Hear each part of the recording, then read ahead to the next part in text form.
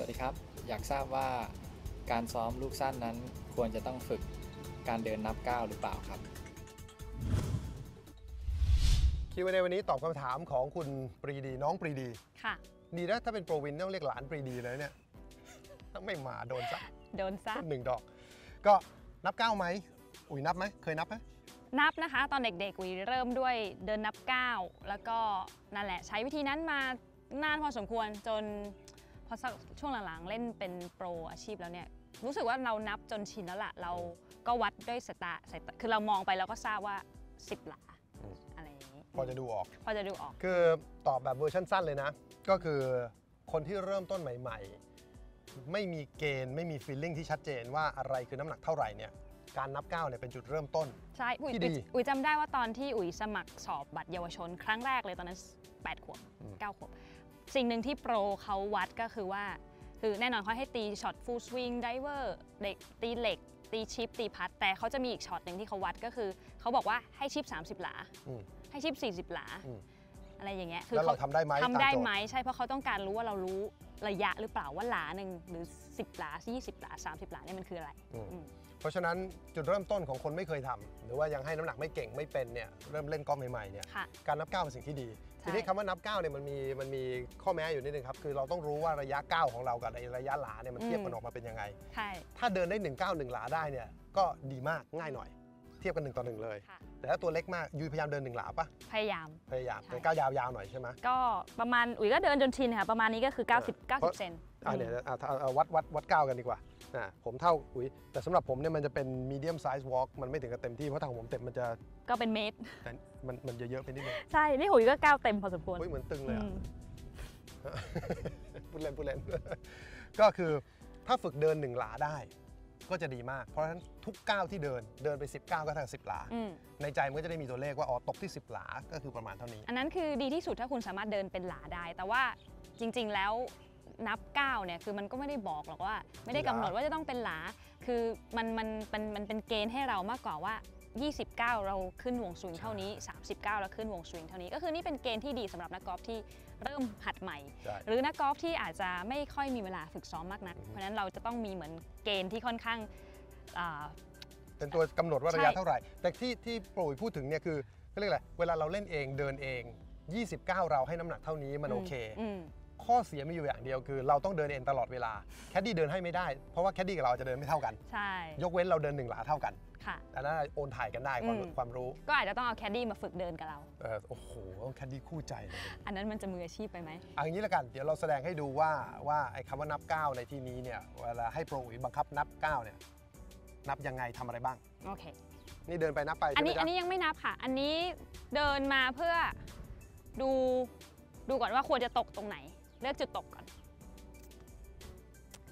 ก็น่าจะประมาณนี้ แต่อันนี้ไม่ใช่ลายของอุ๋ยนะ น่าจะเป็นลายนี้ เพราะว่าเราเรายืนบนลายไม่ได้อะฮะนะอืมน่าจะประมาณนี้อะกำหนดจุดตก โอเคประมาณ อันนี้เพื่อการเรียนรู้ไม่เป็นไรปักได้ โอเค แล้วก็คราวนี้นับ 1 2 3 4 5 6 7 8 9 10 11 12 13 14 15 16 ประมาโอณเคซึ่งในใจเนี่ยมันจะต้องมีการซ้อมมาแล้วว่า 16 ให้น้ำหนักยังไง ค่ะ ถูกไหมอันนี้เป็นหน้าที่ของเราในการซ้อม พูดถึงจุดตก อืมไม่ได้พูดถึงว่าธงอยู่ไหนเลย ค่ะ ไอ้ธงอยู่ไหนนี่ประเมินจากลายเอาว่ามันตกตรงนี้แล้วมันน่าจะวิ่งกลิ้งได้พอดี เพราะว่าสิ่งสำคัญในการไม่ว่าจะเล่นช็อตไหน คือตกในตำแหน่งที่เราคือ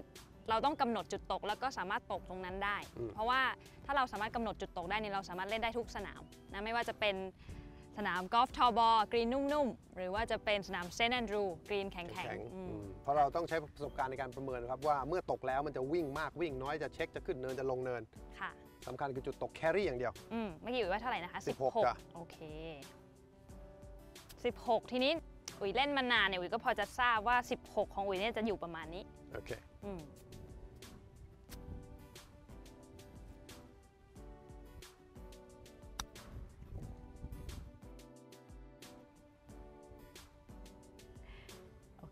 สรุปคือ 16 9 ค่ะ แต่กลับมายืนตรงนี้แล้วอุ๋ยคิดว่ามันลึกไปนิดนึง อืมก็เอาเป็นว่าสัก 14 แล้วกันถอยมาสัก 29 โอเค ค่ะ ก็คือในฐานะนักกอล์ฟเราสามารถจะประเมินสถานการณ์แล้วเปลี่ยนใจได้ ใช่ตอนนี้เราปักทีไว้ที่ 16 ก็จริงแต่ก็โอเคมาดูซ้ำอีกทีแล้วตกไม่ถึงที อ่าทีนี้ถ้า 14 เนี่ยเพอหนุ่ยก็เล่นมานานพอสมควรก็พอจะทราบว่า 14 ของหนุ่ยเนี่ยจะอยู่ประมาณนี้ โอเค อืม ก็เล่นตามฟิลไปเลย ค่ะ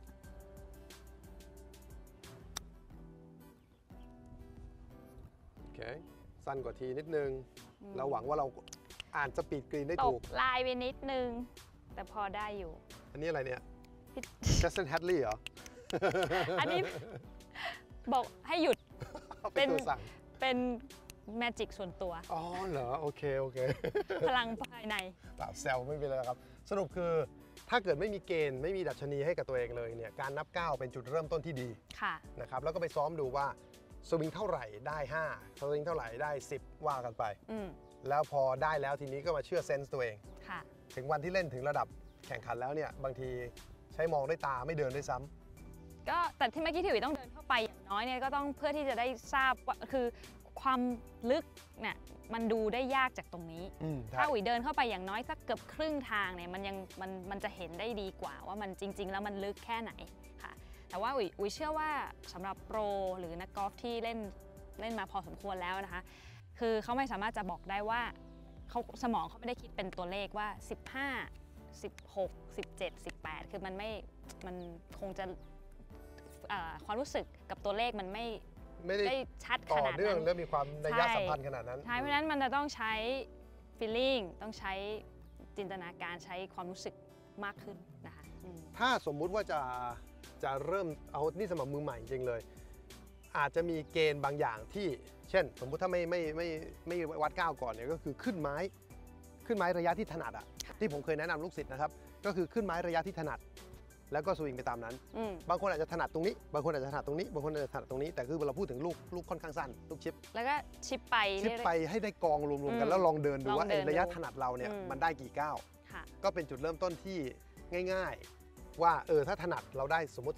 12 ก็ถ้าจะมัน 15 ก็ต้องเกินอืม เลยกว่านั้นไปหน่อยหนึง อุยคิดว่าเราน่าจะมีอย่างอย่างน้อยๆ เริ่มแรกเนี่ยจะมีเกณฑ์ทุก ๆ 5 หลาว่า อันนี้คือ 10 15 20 25 30อืมทีนี้ไอ้ระหว่าง 10 กับ 15 เนี่ยอาจจะต้องต้องซ้อมหนักหน่อยซ้อมเป็นฟีลลิ่งมากหน่อย อืมเพราะแล้วอย่าว่าลืมนะครับอืม พอพอได้ฟีลลิ่งแล้วเล่นเข้าไปปุ๊บก็ต้องมี ถ้ามีอันเนี้ยแปลว่า ตีแรงไปแล้วอ๋อเหรอ